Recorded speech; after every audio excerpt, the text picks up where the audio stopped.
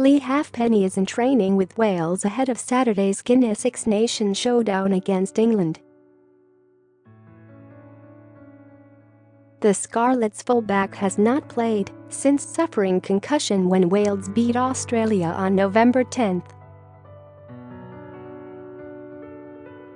Wales released him back to the Scarlets for last weekend's Guinness PRO 14 appointment with Benetton, but he was not included in their matchday 23. fly half Dan Biggar, who went off with his knee heavily strapped during Northampton's Gallagher Premiership victory over Sale Sharks three days ago, is also training.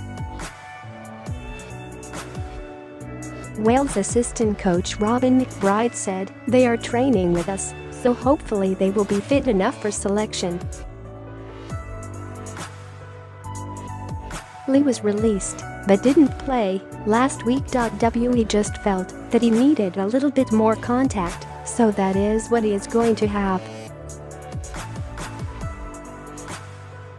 We will measure both of them as the week goes on. Dot with Leigh, it is an individual case, and those discussions would take place with the medical team, the coaches and Leigh himself.